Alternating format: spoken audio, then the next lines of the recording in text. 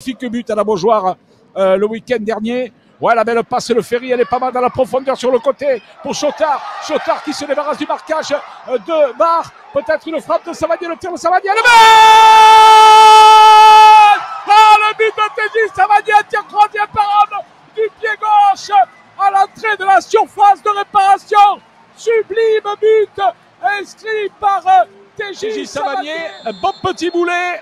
C'est parti, la prise d'élan de Savanier, le but. Oh, magnifique contre-pied. Magnifique contre-pied de TJ Savanier pour doubler la mise